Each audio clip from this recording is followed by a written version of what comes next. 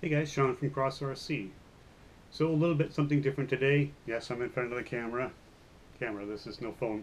So, um, because we're a HobbyTown first and Cross RC second, we carry a lot more than just the Cross RC vehicles. So we have Axial, Arrma, Traxxas, um, Losi, the gamut, right?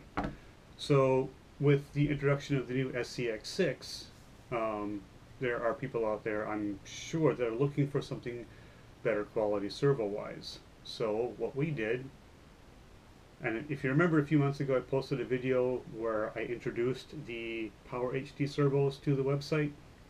Well, this is the 65i 1 5th scale servo that we actually have in a SCX6 at the store. Now, I don't remember what the torque specs are for the Spektrum servo, that comes in the SCX6, but these, even at 6 volts, are rated to almost 764 inch ounces. So that's pretty decent. I think it's a 0.19 uh, sweep, 60 degree sweep.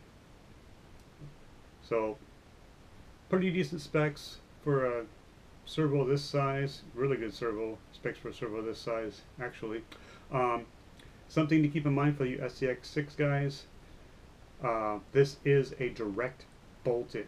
Now in your package, in your owner's manual package and everything else that you don't open, there is a small black square piece of plastic in there. That's actually a servo mount. If you look in the truck, you'll see a more rectangular black piece of plastic mounted to the servo and that's because the standard Spektrum servo is maybe about that much shorter than this.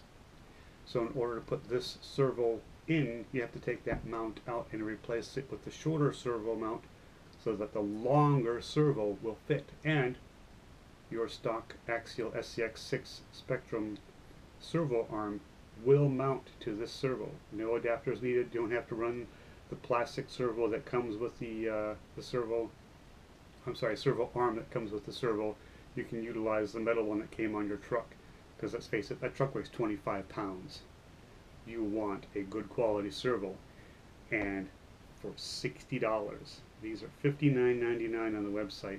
50, 60 bucks? I'm sorry. You need this in your SCX6 we've got guys running these in fifth scale Losi's fifth scale Arrmas SCX6s it only makes sense to have a servo this size in your SCX6 so again by the time I get this video posted I'll have these live on the site Thanks for watching, guys. If you have any questions, let me know. We'll see you in the next one. Bye.